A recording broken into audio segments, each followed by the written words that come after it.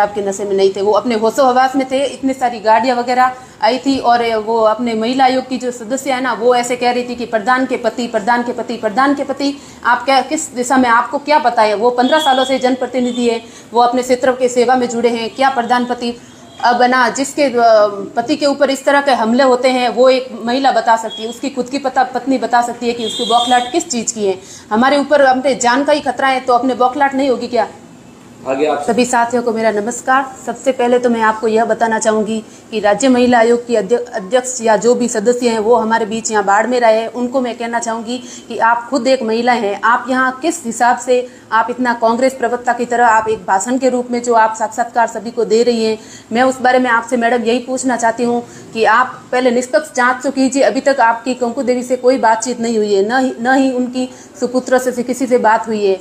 मैं ये आपको एक छोटे से उदाहरण के माध्यम से समझाना चाहूँगी जैसे हम अपने बच्चों को स्कूल भेजते हैं ना तो अपने वो बच्चे पढ़े लिखे होते हैं, उनको बहुत सारी एक्टिविटीज़ आती हैं, लेकिन जब वो स्कूल के अंदर, स्कूल वालों के अधीन होते हैं, तब वो वही कार्यक्रम करते हैं जैसा उनको टीचर्स निर्देशित करते हैं। तो मेरा यही कहना है, प्रशासन और श्रीमान हरीश चौधरी जी विधायक साहब, वो सभी बीजेपी वाले सदस्यों से मिले हुए हैं और वो उन्हीं दिशा में काम कर रहे हैं और वो, जबकि वो पाँचों के पाँचों अनपढ़ हैं।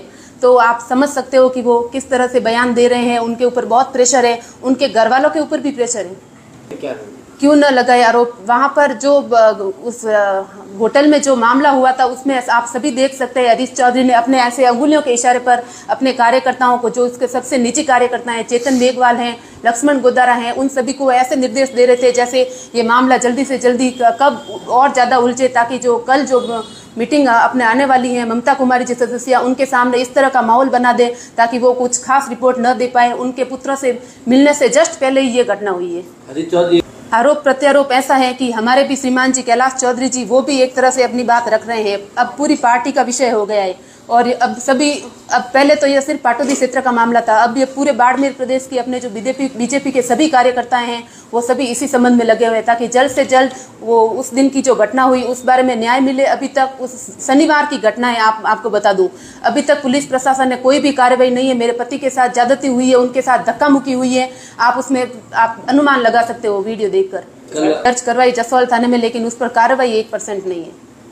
सभी से और पुलिस प्रशासन सभी से यही कहना चाहती हूँ कि लोकतंत्र में उनको अधिकार है कि वो स्वतंत्र रूप से अपना मत दे। जैसे उन्होंने ढाई साल पहले मुझे मत देकर उन्होंने जिताया, उन्होंने ही मुझे बीजेपी के अपने परिवार में शामिल किया। अब जब वही मंडल सदस्य सब कह रहे हैं तो आप स्वतंत्र हो जाइए। यहाँ पाटोदी क्षेत्र में आपका कहीं कहीं भी कोई हमें दिख नहीं रहा है तो मेरा तो यही मानना है कि वो स्वतंत्र रूप से मत दे, चाहे वो किसी को भी दे। एक कुछ भी कहे, मेरा तो यही कहना है, आप लोकतंत्र में हो, सभी को संविधान ने ये अधिकार दे रखा है और आप जो कानून की वगैरह वो भाषा बोल रहे हैं ना तो एक्ट में ये भी प्रावधान है, ये जो अविश्वास प्रस्ताव आता है, उसको हम सदस्यों को विश्वास में लाने के लिए प्रधान वर्तमान प्रधान एक मीटिंग भी रख सकती है। तो इसके संबंध में भी मैंने वर्तमान विकास अधिकारी उकाराम पटेल को और शिवलाल जी जाट को सीएसआर से भी बात की, लेकिन उनके ऊपर भी यह एक प्रशासन का प्रेशर है। आप चाहे कुछ भी कहो, हमारे वर्तमान एमएलए हरीश चौधरी जी हैं। वहाँ कई समय से मैं जब से प्रधान बनी हूँ, तब से उनका राजनीति का जो असर है, वो मेरे ऊपर बहुत ही हावी हो रहा है। शुरू से ही मैंने 10-12 को कम से कम वीडियो देख लिए। किसी, कोई कार्यकाल में आते ही कुछ अपना काम शुरू करने से पहले उसका तबादला हो जाता है। विकास कार्य बिल्कुल नहीं है। अंदरूनी किसी भी तरीके से हाथ हो क्योंकि वो भी बीजेपी के सदस्य हैं आप देख सकते हो हम भी बीजेपी वाले तो हम मेरे पति के साथ इतनी निर्मम घटना उसने की है तो हमारी जब कोई सुनवाई नहीं है तो वो बीजेपी वाले सदस्य कौन से हुए जिसके ऊपर इतना पुलिस प्रशासन उसकी दिशा में काम कर रही है जैसे कोई उनके ही हो वो आदमी। वो भी तो बीजेपी के सदस्य हैं। जसवाल पुलिस थाने बिल्कुल नहीं है सर। मैं कह रही हूँ पूरी पुलिस वाला पूरे राजस्थान का पुलिस वाले सभी इसी दिशा में लगे हुए हैं कि इस प्रकरण को ज़्यादा से ज़्यादा गंभीर बनाए और बिना फालतू सुलझाने का कार्य कर रहे हैं पूरा पुलिस प्रशासन। मैडम सच्चाई ये भी है कि जो कांग्रेस का प्रशिक्षण चल रहा था वहाँ पर जाकर ऐसा आरोप है कि वहाँ पर आप जोगिंदर जी वहाँ गए और उन कार्यकर्ताओं के बीच में इस तरीके का बवाल मचाने का कोशिश। वो एक होटल है ना बहुत बड़ा होटल है जैसा कि आप इसी क्षेत्र से हो आप भी ये जानते हो। तो वहाँ उनका कैंपस अलग था हमने जो रूम ले ले रखा था वो एक अलग चीज़ है। और प्रशिक्षण का भी समय होता है वो रात को दस बजे की घटना है। एक तो शराब के नशे में नहीं थे, वो अपने होशो हवास में थे, इतनी सारी गाड़ियाँ वगैरह आई थी और वो अपने महिला आयोग की जो सदस्य है ना, वो ऐसे कह रही थी कि प्रधान के पति, प्रधान के पति, प्रधान के पति, आप क्या, किस दिशा में आपको क्या पता है? वो पंद्रह सालों से जनप्रतिनिधि है, वो अपने क्षेत्र के सेवा में जुड़े हैं, क्या प्रधान पति? अब ना, जिसके पति के ऊपर इस तरह के हमले होते हैं, वो एक महिला बता सकती है, उसकी खुद की पता, पत्नी बता सकती है कि उसकी बौखलाट किस चीज़ की है।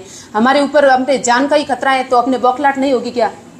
आगे आप सरकार से क्या मांग करते हैं? सरकार से मैं यही कहना चाहती हूँ कि वो लोकतंत्र में ये सबको अधिकार है वो स्वतंत्र रूप से मत दे और जिनको देना चाहे वो मत दे लेकिन इस पर कार्रवाई होना बहुत ज़रूरी है। मेरे पति को उनको जान को खतरा है उनके साथ बहुत ही निंदनीय घटना हुई है ये इसलिए हम रुकेंगे नहीं। आपने एक पूरे राजस्थान के पुलिस प्र- प्रशासन से कि ये जो घटना हुई है मेरे पति के साथ या कोई भी आम आदमी हो ये सभी को बहुत ही निंदनीय घटना है इसके ऊपर जल्द से जल्द कार्रवाई होनी चाहिए। ये कोई राजनीति का विषय नहीं है यह अन्याय है। बिल्कुल आप जो सरासर देख रहे हो, वीडियो के माध्यम से आप चाहे किसी भी प्रकार से देखो, राजस्थान में पुलिस मतलब एक तरह से इतना मतलब घिनौना काम कर रही है, जो एक बहुत ही आम आदमी के लिए अगर सोचे तो बहुत असंवेदनशील घटना है।